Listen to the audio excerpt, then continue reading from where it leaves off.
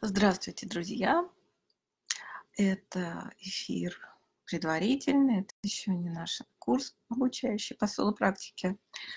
Ну вот я считаю правильным немножко сначала рассказать о том, что это вообще будет за интенсив обучающий, что за практика, может быть, кто я такая.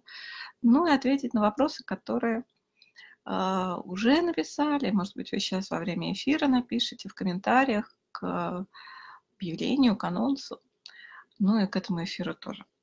Ну так вот. Меня зовут Олеся, я живу сейчас в Торонто, но, в принципе, я путешествовала много в жизни.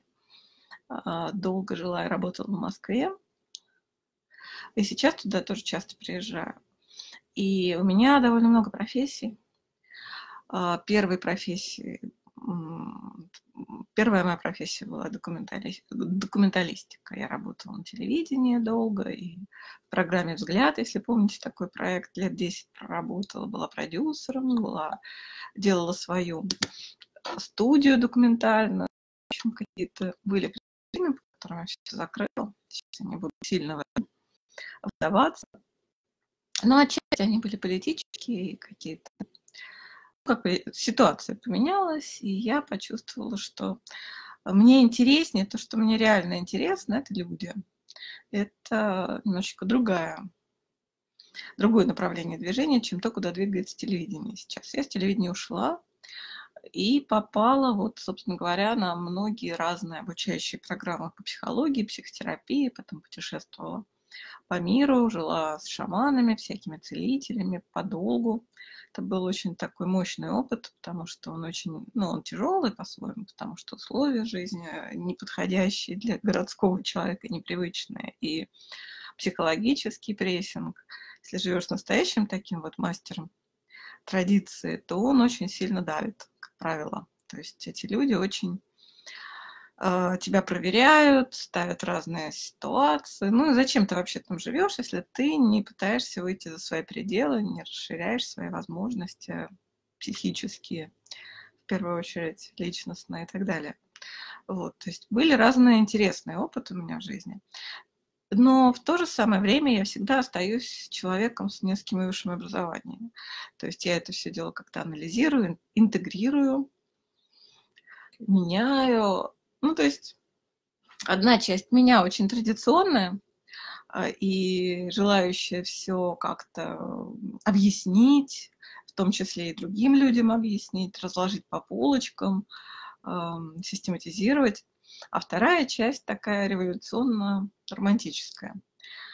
А, двигаться в другие культуры, пробовать что-то делать по-другому. И вот эта вот жизнь суфиями, к слову сказать, и с шаманами, она меня и научила никогда не следовать э, плану, никогда не, ну, жест, не жестко следовать плану, скажем так.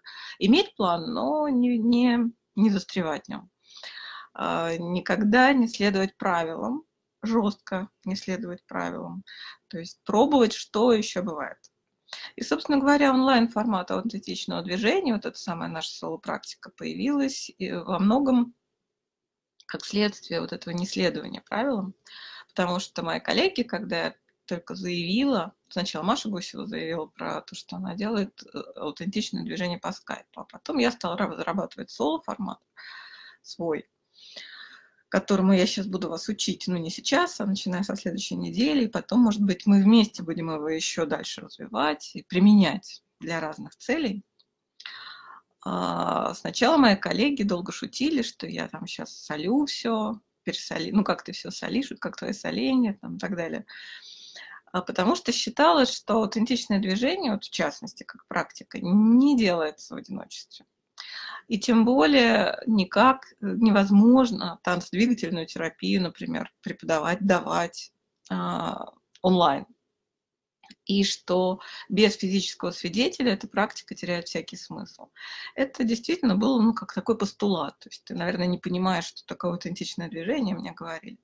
Потом я стала развивать этот формат, появились люди, которые практикуют, появились отзывы, появились их а, какие-то тексты, обратная связь. Потом я это все дело еще и проанализировала, систематизировала, выступила на, евро, на европейской конференции ассоциации, Европе... на конференции ежегодной Европейской ассоциации танцедвигательных терапевтов с большим достаточно успехом выступила. Меня попросили британский журнал ну, по танцедвигательной терапии попросил статью об этом. Это такое центральное научное издание в этом направлении. Это хорошо, я сейчас над ней работаю. То есть это как бы очень считается ну, престижно, то, что тебя приглашают опубликовать вот э, рассказ о своей работе там. То есть это все вполне сейчас э, становится, наоборот, трендом. Да? То есть вот это соло, это, к нему много интереса от моих коллег, э, танцедвигательных терапевтов из разных стран сейчас, после моих вот этих выступлений на конференциях. Но в то же самое время такая живая развивающаяся практика, в которой соединяется и танцедвигательная терапия, и какие-то, ну вот есть конкретная практика, конкретное направление в ТДТ, аутентичное движение.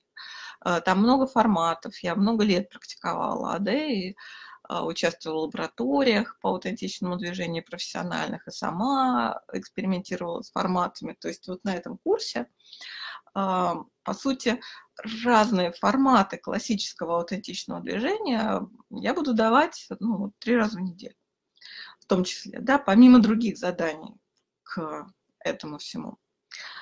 А, и собственно говоря, источ... одним из источников вот этой практики является классическое аутентичное движение и танцвигательная терапия. Но к этому мы будем добавлять и арт-терапию, медитационные какие-то техники, работа с вниманием. А, ну, то есть практика интегра... интегральная такая, интеграционная. И дальше, после интенсива вот этого, можно будет, я, наконец, видимо, открою уже полноценную группу практиков ну, вот, с каким-то уже опытом, с базой, не есть, у нас есть группа как бы начала практики, где можно попробовать э, в сообществе единомышленников э, первый раз ходить практику или просто еще что-нибудь там такое писать, продолжать. Там это бесплатная группа, она будет вечно такой бесплатной. Но вот а, какими-то более интересными вопросами заниматься, например, там работать даже с психосоматикой или работать с личностными какими-то задачами, ну, явными. А, мне было бы интереснее все-таки с группой людей, которые прошли уже вот этот вот интенсив. Да, спасибо, Анастасия потому что хотя бы базовые знания о форматах нужно иметь, чтобы идти в более сложные какие-то темы. Ну и пока мы практикуем вот на интенсиве, вот на этом месяц, 4 э, вебинара в неделю, 3 э, – это новые форматы, какие-то новые задания, по сути, обучающие. То есть у меня э, как бы условием того, чтобы можно было бы практиковать в онлайн-группы, одним из условий, важнейшим, ну, для меня, как для ведущего, является вот такой образовательный подход, educational approach. Я э, много объясняю про то, как устроена эта практика. А обычная клиентская группа по танцевой терапии, ты приходишь, просто выполняешь инструкцию и не пытаешься понять, э, почему так, что это такое, как вообще эта практика работает. Вот я считаю, что онлайн-группа, она для взрослых людей. И в то же самое время это группа, у нас будут свои правила, я их тоже сейчас буду объяснять, и, и потом еще в группе буду объяснять, когда мы начнем уже интенсив в закрытой группе, когда из нее уйдут все те, кто не, не решился в этот раз пойти вот в общий процесс групповой на месяц. А, там будут свои ясные очень правила, как мы свидетельствуем, как мы взаимодействуем между собой – вот. Но все-таки у нас всегда опора на себя. То есть э, я не стою рядом с вами, когда вы практикуете. А, но вы понимаете, мы все взрослые люди, и чем лучше мы понимаем себя, чем больше мы знаем о том, как практика устроена, и вообще чем больше мы готовы опираться на себя и в себя смотреть, тем на самом деле а, мы более здоровыми становимся. Поэтому я думаю, что вот эта вот соло-практика и вот образовательный подход, это может быть даже в чем-то более эффективно в плане вот такого целительного эффекта, самоисцеления и даже социализации людей, а, даже чем групповая практика. Потому что вот я очень люблю танцедвигательную терапию. Для меня это часто, ну, это радость. Это такая практика про радость, про совместное переживание разных состояний, про движение, про телесную радость. Вот. Но в то же самое время я знаю, что многие люди там залипают вот в этих группах э, по танцедвигательной терапии. То есть э, они никуда не, двиг, не двигаются по жизни, они просто все время приходят на эти группы, ездят на семинары, на ретриты. И э, немножко так в этой, ну, превращается это все в такое убежище, в такую песочницу. И не думают, не идут вот в какие-то э, даже осознавания а, э, то есть вот группа единомышленников и все. И мы вот здесь, нам здесь хорошо, а внешний мир для нас слишком груб. Вот соло-практикой так не выйдет. И мы будем точно совершенно работать э, над тем, чтобы, ну, во-первых, э, она больше, более независима. То есть мы можем практиковать где угодно, когда угодно, на природе, на даче, дома, ночью, днем, когда, когда есть час времени у вас на то, чтобы создать себе безопасное пространство, куда никто не вторгается, и где вы там не упадете со скалы и не попадете под машину, если это на улице, э, находим пространство, где это действительно безопасно, потому что часть процесса с закрытыми глазами происходит. Нам важно, чтобы пространство было ну, достаточно безопасное вокруг. Вот. И у нас всегда есть при этом поддерживающая группа, и если что-то происходит вот экстраординарное в вашем внутреннем мире, вот вам нужна срочная поддержка, всегда можно обратиться еще и ко мне. Мы можем разобраться, что случилось, да, э, ну, что, что, что за состояние, с которым вы, например, не можете справиться, как с ним быть. Это все на самом деле бывает на первых каких-то порах, а вообще чем больше мы учимся, чем больше мы какую-то систему осваиваем, тем больше мы можем сами решать, э, вот как бы самостоятельно э, решать эти задачи. Плюс-минус самостоятельно, при этом не выпадая полностью в какое-то одиночество, а у нас группа. А, мы можем встречаться и физически между собой, мы можем делать какие-то совместные практики на природе, если мы живем в одном городе, или те участники сообщества, которые живут в одном городе, а, дружить, взаимодействовать, то есть дружеские и очень при этом деликатные и глубокие отношения между участниками группы возникает достаточно часто, это тоже вполне понятно. Вот, но все-таки мы всегда помним, что все равно опора на себя, и э, контакт с реальным миром очень важен. И это практика для ресурсирования, для того, чтобы мои возможности вот, взаимодействия с миром увеличивались, чтобы моя выносливость, мое вот это вот эм, состояние свидетеля, то самое, которое мы тренируем, когда мы можем немножко со стороны смотреть на ситуацию, находясь в то же самое время внутри нее. Видеть большую картинку, понимать собеседника, вот мой интерес, вот его интерес, вот что происходит. Вот, то есть тренированное внимание, оно широкое. То есть, эм, ну, грубо говоря, у травмированного человека внимание схлопывается, когда мы попадаем в травму, когда мы вдруг выпадаем в какие-то свои там ужасы, и шуги, а, э, сознание становится очень узким обычно у человека. Он видит только вот это вот свой страх, там, свой испуг или что-то, что-то, что его зацепило. А всю картинку он уже не видит. И людей, которые его окружают, он не чувствует. И куда двигаться в связи с этим, и как двигаться, он не понимает. Так вот, как себя ресурсировать в таких ситуациях и э, ну, как бы легко их проходить использую все возможности, которые прямо сейчас на самом-то деле есть, просто я с ними не в контакте.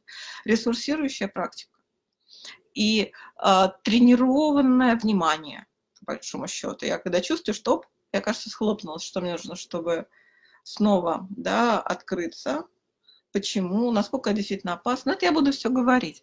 В принципе, у меня вот два таких онлайн-проекта с похожими задачами, но совершенно разных. Это э, соло-практика, и вот есть у меня такой курс ясночувствования, вы, наверное, видите, я в своем э, как бы блоге периодически о нем сейчас пишу, потому что с апреля начинается следующий запуск. Там мы просто разбираем еще, что делать с каждым чувством, с каждой эмоцией, как они работают, как они у нас уложены, устроены. Это тоже полезно знать.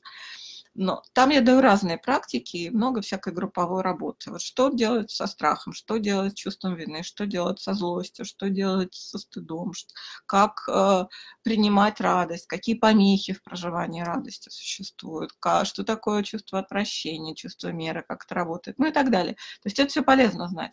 Но ну, там немножко другая история, там ну, где-то аналитика отчасти, да, и практики для осознавания, то есть образовательная тоже такая штука. А вот соло – это именно практика, которая может быть ежедневной. Я более того призываю быть ежедневной. Сама, видимо, сейчас я, я выпала из нее на некоторое время, вот каждый день ее не делала. Сейчас хочу снова начать и даже сделать себе такой тег соло каждый день. Вот начиная с этого курса и в дальнейшем буду делать ее тоже каждый день. Не так много времени занимает, а вот эм, как бы собирает внимание, э, тело очень сильно реабилитирует, там, пробуждает, да, включает в нем вот эти вот исцеляющие какие-то процессы. Э, творчество просыпается. И ну, постепенно так находятся ключики к разным состояниям и к разным чувствам через нее. И вот если она ежедневная такая, то утратить вкус халвы, как в том мультике, невозможно, да? потому что э, контакт с чувствами, он есть. Он такой устойчивый, постоянный, мне для этого практика, группа поддержки, в том числе онлайн, но неважно, какая-то, возможно, реальная группа поддерживающая, то есть есть э, на что опереться вот небольшими затратами, временными и материальными совсем уж маленькими на самом-то деле. Вот. Я могу себе позволить быть в контакте со своими чувствами и с миром. То есть э, я сама вот иногда удивляюсь, я буду сейчас э, стартовать это соло каждый день, но при этом я проверю, что за помеха, что меня из него выкинуло. Да? То есть всегда это что-то, что... Ну, почему люди не хотят практиковать такие вещи? Потому что было какое-то чувство, которое не хотелось испытывать, например. Не хочется во что-то смотреть, а такая практика, она частенько все-таки приводит э, все равно тебя к зеркалу, да, ты видишь, что на самом деле происходит. Ну и происходит такая раз и потеря контакта. Но вместе с этим теряется очень многое, много других чувств и так далее. Поэтому я всем говорю, что не бойтесь да, то есть даже если какую-то боль какая-то испытывается, чего-то, вот кажется, что, ой, а я не знаю, что делать с этой ситуацией. Если я продолжаю смотреть, если я продолжаю практиковать, если я продолжаю искать, то э, решение находится, тело подсказывает решение во время, во время процесса движения, во время вот, эти, вот этой практики очень многие вещи прям проясняются и становится понятно, что с этим делать. Вот, так что я во многом этот интенсив затеяла и для себя, потому что сейчас мне уже не отвертеться, я тоже буду практиковать, и я буду... Ну, иначе просто уровень энергетики будет не то. Чтобы держать группу, важно обязательно тоже практиковать. Просто теоретически рассуждать, все это сразу почувствуют. И а, для меня это тоже такое возвращение. То есть у меня был вот год, где было много соло-практики, появились первые там ну, такие явные группы последователей, и было о чем уже сделать доклад э, на конференции и так далее. А потом я вдруг раз и перестала практиковать, и сразу же перестала вести эти интенсивы, пропали.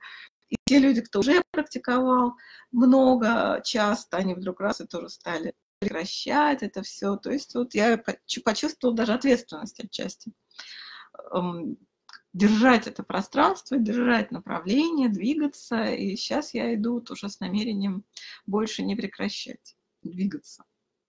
Практика хорошая. Вот. Но это я так, просто для знакомства поговорила о разном. Сейчас я иду и читаю вопросы. И буду на них уже действительно отвечать. Так, Алина спрашивает.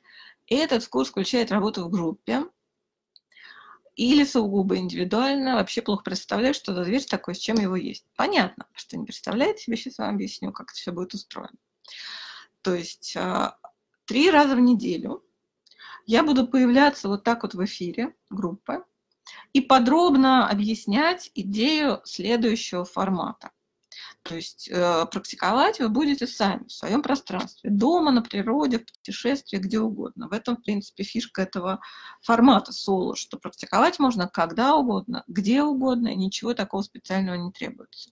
Но желательно иметь интернет потому что частью практики будет написание текста или там создание еще визуального какого-то объекта и публикация его в закрытой группе только для практиков. Эти группы никогда не будут очень большими, вот эти вот группы практики маленькие, ну вот интенсивы. А, и кроме того, вы еще будете читать, свидетельствовать, видеть процессы других людей. И тоже что-то при этом откликается, сопереживание просыпается, там просыпаются какие-то сознавания, какие-то яркие вещи, то есть мы друг друга поддерживаем. Причем э, будут, ну, свидетельства, слово свидетельства. И э, даже правила для таких комментариев к процессам других людей на первых порах будут прям очень четкие. Можно написать просто «я тебя вижу» или «я свидетельствую». Можно сделать комментарий как эхо, то есть взять кусочек фразы, либо рассказать историю своей жизни. Никаких советов, никаких оценок ни в коем случае того, что написал человек и вас никто не будет оценивать, и вам никто не будет давать советов, которые, может быть, вас только ранят, да, то есть не, не имеют отношения к вашей ситуации никакой. А вот если человек просто расскажет свою историю в ответ, скажет, я вот тебя читала, а у меня вот вспомнилась такая история из моей жизни, ну, что тут обидного, это нормально как раз. У меня есть статья по свидетельствованию, я, его сейчас, я ее сейчас выложу в этой группе, если ее еще никто не, если я еще не выкладывала, проверю. Что такое свидетельствование? Это, в принципе, термины из психотерапии, из телесно-ориентированной психотерапии, из классического аутентичного движения. И мне нравится, и слово это мне вполне отзывается, как любят говорить, говорить всякие практики телесные. Uh, то есть uh, мы друг друга именно свидетельствуем. У нас очень бережное пространство будет в группе для чувств каждого, и каждый может проявляться в этом пространстве. Вот. То есть есть групповой процесс, но а, базовый, телесный, там, творческий процесс будет в вашем личном пространстве в удобное для вас время. И слушать мои вот эти вот э, тексты, э, это будет и видео, это будет и аудио, если вам удобнее, или если вы, например, в поездке, зачем вам смотреть вот на мое лицо там, когда вы можете просто включить MP3 эм и послушать то, что я говорю, и все будет понятно. А, кроме того, я очень рекомендую, когда начинаешь такую соло-практику, начать вести дневник. У нас есть форум с закрытым разделом, где можно писать, вот в группу вы выкладываете именно какие-то тексты, которые родились как часть процесса, но в дневник можно писать постоянно, что угодно, либо истории из вашей жизни, что хотите. И я рекомендую читать друг друга, тоже немножко комментировать, поддерживать. А, это закрытый форум. То есть никто со стороны это прочесть не сможет. То есть я открываю туда доступ только по... Ну, вот, вот я зарегистрировался, вот мой там ник, name, вот, вот как я зовусь на форуме. А, вы там можете придумать себе имя, да, может, люди могут даже не понимать, что это вы, например, если вы, вы хотите сохранить анонимность такую даже от участников группы. Как угодно. Вот. Но такое вот прописывание тоже в поддерживающем пространстве, оно помогает быстрее интегрировать какой-то опыт из практики в реальную жизнь. То есть вы увидите, как это связано, как вы ведете себя в жизни, как, что вы переживали в практике, а как вы поступаете в реальной жизни. Если это делать, то это будет как-то высвечиваться более ясно. И, может быть, другие люди тоже вам что-то расскажут из своего опыта. А, поддержку почувствуете в группе. То есть дневник это тоже один из наших ресурсов. Ну и а, ну вот по, по структуре. Ну и в воскресенье я буду отвечать на вопросы. То есть три раза в неделю это будет новый формат, новые идеи, новое задание, какой-то кусочек информации о практике. А в воскресенье вопросы. Будет всегда тема с вопросами, и все, что будете спрашивать, я буду комментировать э, вот так же точно в живом эфире ответы на вопросы о практике. А, возможности у практики достаточно широкие. То есть у меня на этом интенсиве задача, чтобы вы ее освоили, чтобы вы научились ее делать с разными, при этом там с предметом, с такой интеграцией, с секой, с такими настройками, с такими фокусами внимания, вообще ее понимать эту практику. А дальше можно уже делать какие-то еще отдельные группы там, на тему, например, там, соло и отношения, там, или соло и эм, все что угодно, да, то есть какое-то решение конкретной задачи с самыми разными акцентами.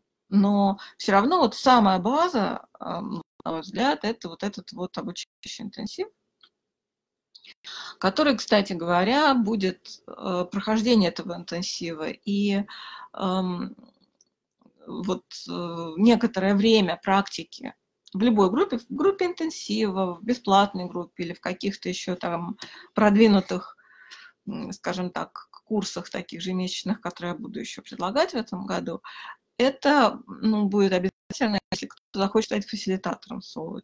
Потому что я сейчас готовлю такую профессиональную программу по этой практике для, помога... для людей, помогающих профессий которая будет аффилирована с нашими ассоциациями европейской и канадской, наверное, российской по дэнс-терапии. А, Но ну, это просто процесс, пока ее надо там прописать, чтобы она соответствовала всем стандартам, чтобы, чтобы, чтобы, наконец, публиковать эту статью в научном журнале, в нашем этом дэнс-терапевтическом, в общем, все это сделать, и тогда я уже заявлю профессиональный курс. Но э, как эм, подготовка к курсу, все равно вот этот вот интенсив и какое-то время личной практики я буду считать ну, таким обязательным делом, если для человека, который хочет ее вообще фасилитировать, тем более, да. Вот. Но, это не, но этот курс, он не для профессионалов, он для всех. Он просто для того, чтобы практиковать потом самостоятельно или в группах, как угодно. Вот. Что дает... Сейчас еще вопросы сначала проверю, потом еще что-нибудь от себя скажу. Так. Какие еще вопросы? Для практики нужно уединение. Я, например, вообще не бываю одна, Радмила пишет, это недавно до меня дошло. Да, нужен час уединения, это правда. А, но вот сейчас скоро лето, например, вы можете в парк уйти. А кроме того, есть такой момент, а, что вы можете договориться с домашними, это может быть даже поводом договориться с домашними и выстроить вот эту вот границу, что вам иногда нужно личное пространство, когда никто не входит в комнату. Вообще, совсем. И ну, как-то подготовиться, насамурается, что сначала кто-то будет пытаться нарушать это правило и так далее, что вот у меня есть такая практика, и для того, чтобы ее делать, мне нужно час за закрытой дверью провести, чтобы никто не заходил. Может быть, меньше, чем час, да, то есть сама практика может быть 20 минут, но э, научить домашних уважать ваши границы, в этом что-то есть. И именно объяснить, можно как угодно им, как любую версию выдать, например, сказать, что я собираюсь там профессионально тоже в том числе, да, практиковать со временем или еще что-то. Вот. Но э, если нельзя вашим домашним это объяснить, но понятно, что если человеку год от роду, то, наверное, сложно. Но можно его кому там попросить посмотреть за ребенком часик. Вот. Но вот личное время и уединение для человека любого нормального – это одно из, в принципе, правил сохранения каких-то открытых чувств себя, даже своего э, прямого, ясного восприятия мира чтобы вы понимали, чего вы на самом деле хотите, что с вами вообще происходит, куда вы движетесь. И в том числе, чтобы организм работал правильно. То есть ему тоже нужно когда-то делать ревизию себя для того, чтобы не развивать психосоматические заболевания, а наоборот включалась иммунная система. Если мы вообще не даем возможности своему организму заняться собой, обратить внимание на себя, то чего мы от него ждем? То есть если такая ситуация существует, что вообще нет уединения, то как раз может быть вот повод ее хотя бы на час один раз в два дня делать. Ну, важно, это важно. Это для здоровья и для э, чувства радости, для, того, для той самой радости, для счастья внутреннего имеет значение. Я бы рекомендовала обратить на это внимание.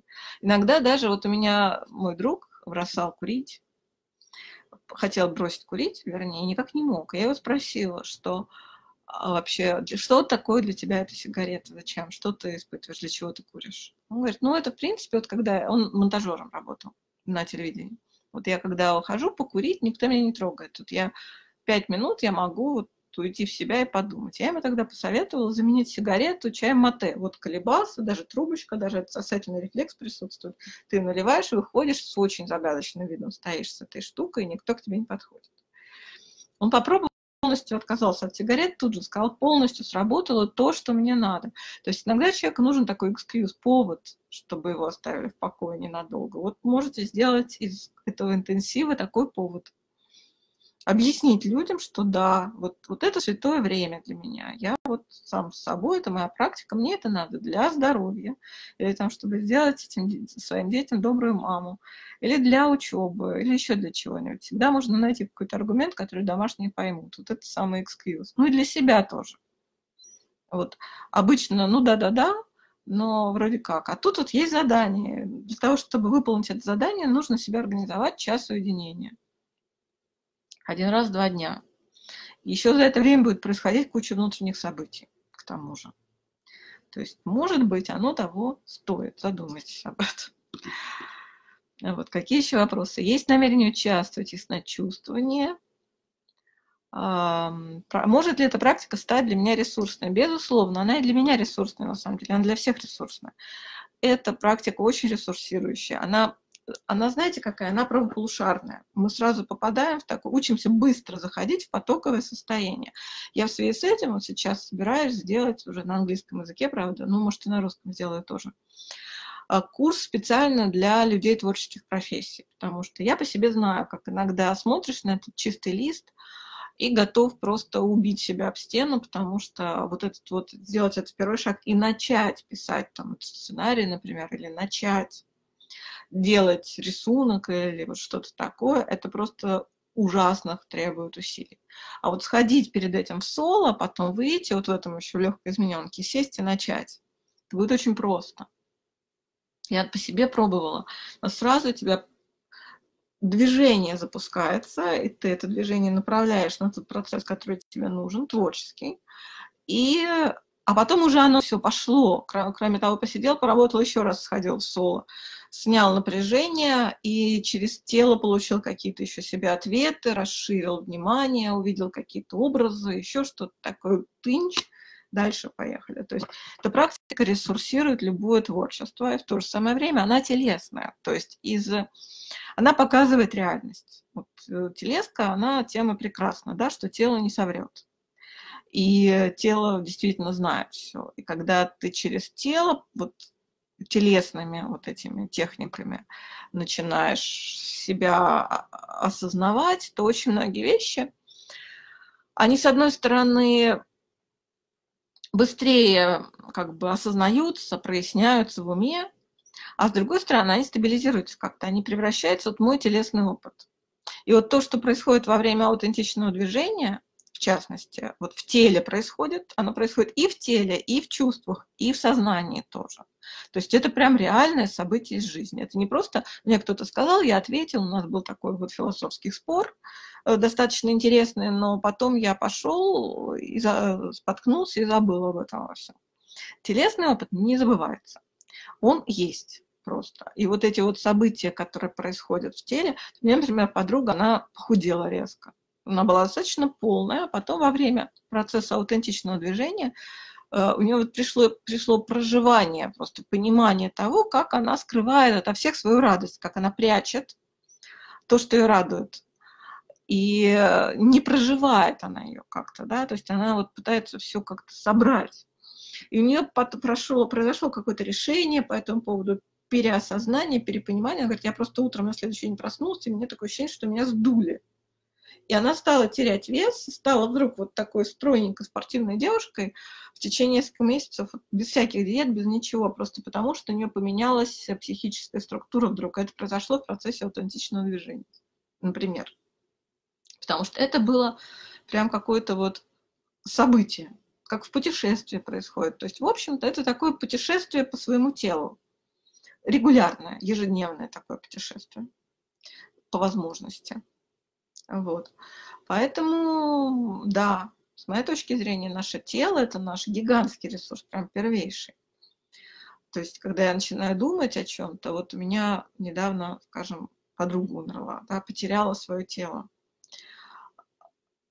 молодая, красивая, и я даже должна признать, что я даже немножко завидовала ее, э, ну, как вам сказать, умению обращаться с материальным и ее здоровью. То есть она до того, как случилось это заболевание, которое ее съело моментально, она физически была намного меня сильнее. Вот. И вот в этой ситуации я, конечно, очень переживала, и я еще раз переосознала, вот что наше тело – это все-таки самый главный наш ресурс. Какой бы человек не был материально устойчивый, но если мы забываем про тело, если мы уходим в ум полностью, в какие-то другие совсем процессы, а тело остается без внимания, то вскоре выясняет, выяснится, что вот это вот был главный ресурс вообще-то. И вот для меня, конечно, тело очень э, сейчас вот ценно, мы его любим, и дать ему какую-то практику, через которую оно может выражать себя, говорить с нами, высказываться, потому что оно именно разговаривает, мы его просто не слушаем, оно не так говорит, потому что... И вот э, позволить ему проявлять себя, позволить ему высказываться и делиться с нами каким-то каким пониманием мира и чувствованием про этот мир. То есть на самом деле через тело, ну как шаман, да, они через тело, они всю информацию могут собрать, телом именно ощущая ее и прямо выдать тебе. Ты думаешь, откуда он это знает? А он тело, как антенна, это все дело почувствовало и кстати, вот они не болеют, не болеют до вот своей глубокой старости. У них, ну, вот те, кого я видела, я прям вижу, как они очень такие телесные, и они очень все это вот проживают и протекают через них все. И нет повода для того, чтобы появились заболевания, то есть появилась какая-то дисфункция. Тело очень функционально у них. И вот повышать вот эту функциональность своего тела можно такой практикой как вот наша, например, соло. Я не говорю, что только ею. Да, есть йога, медитация, есть куча всего, танцы. Ну вот в том, вот наша практика, она вот четко про это, про то, как э, ресурсировать свое тело и как тело сделать ресурсом для своего сознания тоже. И для творчества, как с творчеством иметь дело. Вот. Читала про Д. Хочется понять, насколько применимо в самой обычной жизни в быту. А, вот, собственно говоря, я про это и сказала, да, как пример, да, про творчество. Сидишь, пишешь там доклад на конференцию, и уже что-то я туплю, я уже не соображаю, что писать. Схожу-ка я в соло на полчасика, а потом буду писать дальше.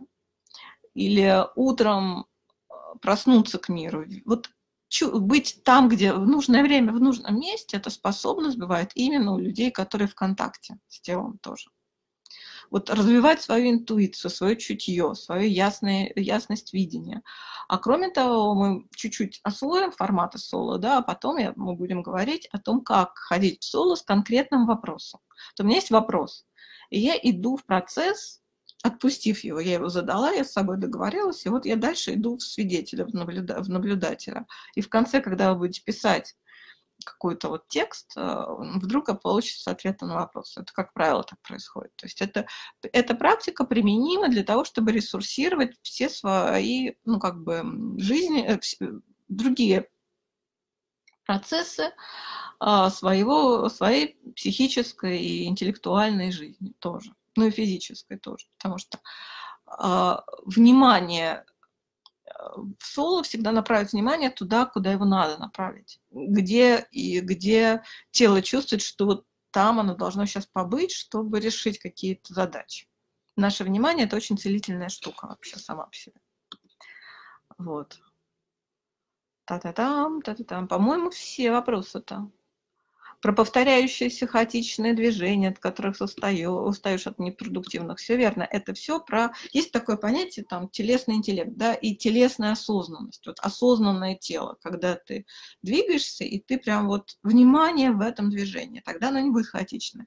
Я же еще учу, как многие знают, массажной практики, которую я назвала relational массаж bodywork или relational bodywork. Многие просто называют, кто не хочет иметь дело с медицинскими лицензиями там, и так далее.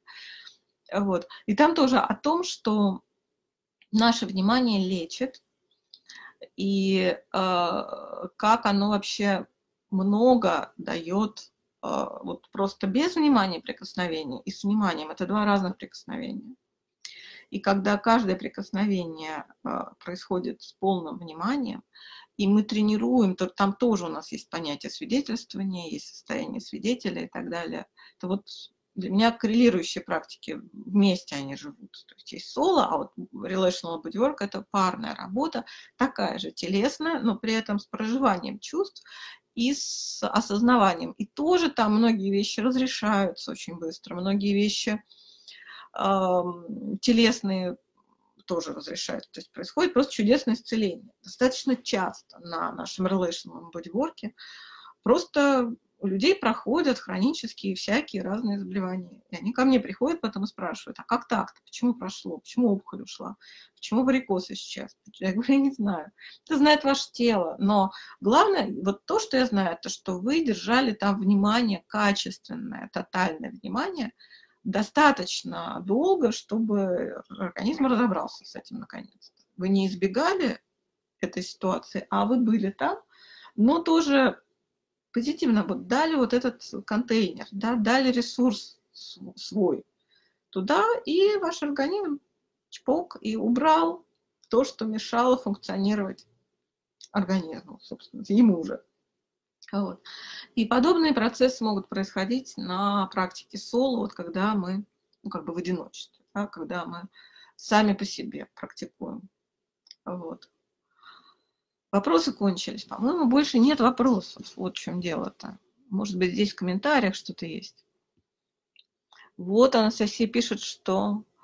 А вот есть вопросы, а, что Анастасия пишет, что на курсах психологических было сложно слушать тело, я его не слышу. Это тренировка тоже. То есть это дается с практикой, это приходит с практикой. Кроме того, поддерживающая группа и даже какая-то, ну, некоторые дисциплины, вот раз в два дня нужно сделать новый формат процесс, дать этому время. Иногда телу нужно время, нужно увидеть, что вы серьезны, да, что вы действительно намерены его слушать. И потом, поскольку эта практика, она про движение тоже, она, она про, э, про какую-то телесную активность, э, она, про, она выскажется. И в конце концов вы услышите свое тело. Я прям уверена в этом. Все слышат в конце концов. Татьяна спрашивает, практика в тишине? Да музыка не нужна в данной ситуации. С музыкой пробовали немножко, особенно в начале, вот на этом интенсиве точно без музыки, но можно ставить, э, вот эм, я даже запишу и положу, когда колокольчик звенит раз, потом звенит тынь-тынь за одну минуту до 20 минут, и тынь еще раз, э, когда 20 минут. Ну или поставите просто таймер, как угодно. Но да, в тишине ну, звуки природы за окном всякие и так далее, или на природе можно делать. Но, в принципе, без музыки, потому что музыка соблазняет, музыка вытаскивает из вот этого вот внимания к тому, что на самом деле прямо сейчас именно со мной происходит. Потом есть другие вещи, мы сделаем. Я сделаю какой-то курс по ТДТ онлайн тоже, танцтерапии. То есть какие-то вещи, э, где музыка становится ресурсом, можно делать. Но вот сейчас я предлагаю без музыки. Или музыку можно включать, если захотите, конечно. Например, когда мы будем, не знаю, рисовать, писать. Но вот я бы предлагала все-таки этот интенсив прожить тишиной. И вот эта тема уединения, да, одна, вот есть такая фраза, что лучшее лекарство от одиночества – это уединение. Это правда. То есть как мы проживаем вот это вот уединение чтобы оно было у нас вообще, в то же самое время, чтобы нам там было хорошо, чтобы, а, когда я остался один, на меня не наваливалось какое-то вселенское вообще, а, какая-то вселенская грусть. А наоборот, чтобы у меня это было ресурсное для меня время и наполненное и поддерживающее. Вот. И тишина тоже. Тишина хорошая вещь, на самом деле. Я очень люблю тишину. Вот. Еще какие-нибудь вопросы есть? Нету? Сейчас найдем. Когда будет первый эфир интенсив? В понедельник. Татьяна говорит, всегда глаза закрыты. Ну, на некоторые части процесса, вот опять же на этом интенсиве, да, будут, будет, будут закрыты всегда глаза, а потом мы будем рисовать, коллажи делать, писать, это уже с открытыми глазами.